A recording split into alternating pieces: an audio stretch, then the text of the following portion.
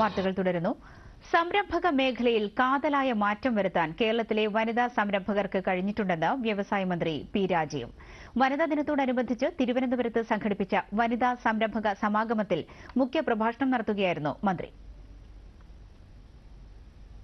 Composite ഗ്രാന്റായി അഞ്ച് ലക്ഷം രൂപ തിരിച്ചടയ്ക്കേണ്ടതില്ലാത്ത രൂപത്തിൽ എല്ലാ വനിതാ സംഘങ്ങൾക്കും നൽകുമെന്നാണ് ഈ വനിതാ ദിനത്തിൽ വകുപ്പിന് ആദ്യമായി പ്രഖ്യാപിച്ചത്.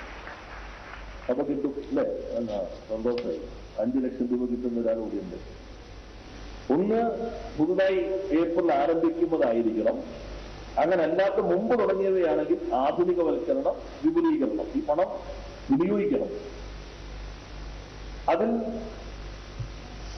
എത്രയാണ് നിങ്ങൾക്ക് ആവശ്യമായി വരുന്നത്?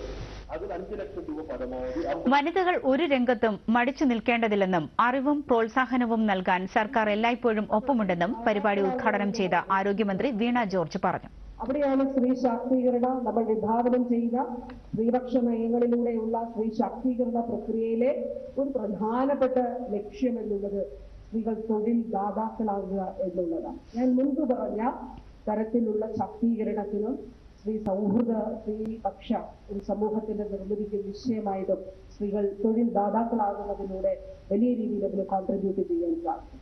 ഈ